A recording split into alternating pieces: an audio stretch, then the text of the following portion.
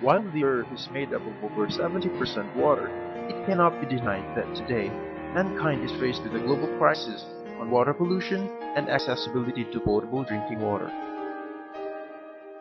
In the Philippines, access to clean and safe drinking water remains a problem both in rural and urban areas.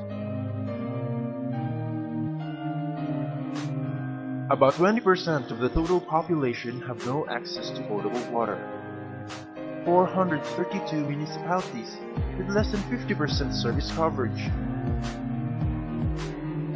And about 6,000 premature deaths a year are caused by waterborne diseases.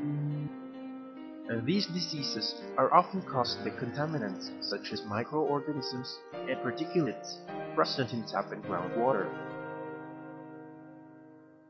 Thus, the people resorted to commercially sold purified water that entails additional costs, causing further strain to an already very tight budget. For example, 350 ml costs 10 pesos. 500 ml 13 pesos. 1 liter 20 pesos. And 5 gallons around 35 to 40 pesos. To address these concerns, the DOST through ITDI developed the ceramic-based water filter that can remove microbial or particulate contaminants in drinking water and is ideal for use in the households. Consultative meetings and assessment of interested or possible adopters have already started. Clay samples from the various regions were tested and characterized to find the best suited material for the water filters. Made from red clay, the developed water filter is coated with nano antimicrobial agents that can eliminate waterborne microorganisms. It is lodged in a plastic container and provided with a faucet at the bottom for collection of the filtered water.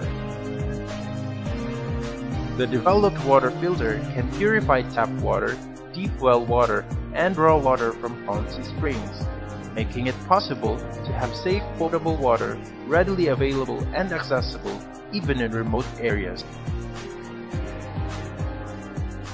The filtered water has the Philippine National Standard or PNS for drinking water. It is also very easy to install or assemble, handle and maintain, and is reasonably priced. Field tests were also conducted and pot filters were distributed to NHA households in Muntinlupa City and Cagayan de Oro City. Positive feedbacks and comments were obtained. Among those are the following. Nagagamit sa pagluto. Masarap ang lasa ng tubig. Nakatipid sa pagbili ng mineral water. Maayos, walang problema. Kailangan maingat sa paglinis. The technology for the production of ceramic water filters involves the following processes. First step is the preparation and weighing of raw materials, followed by mixing. Then, kneading. Next is the forming of greenwares by jiggering, then air drying, and lastly, firing. At present, the ceramic water filter technology is being rolled out nationwide in line with Pinoy's Innovation for the Poor agenda. The rollout is spearheaded by DOST Region 1 and ITDI with the support of all DOST regional offices. A memorandum of agreement has also been forged with a client or adopter in Cagayan de Oro City, while the rehabilitation of the kiln of a potential adopter in Vigan Ilocos Sur is being worked on. To speed up the rolling out of the technology, 10,000 pieces of candle-type ceramic water filtration system will be produced and funded by Fisher Technicum, with a total project cost of 17.3 million pesos.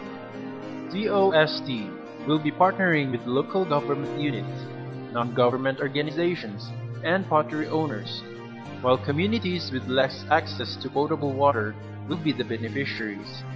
In time, all these DOST interventions, particularly on the ceramic-based water filter technology rollout, could be instrumental in achieving the Philippine Millennium Development Goal of increasing the number of people or population with access to potable water.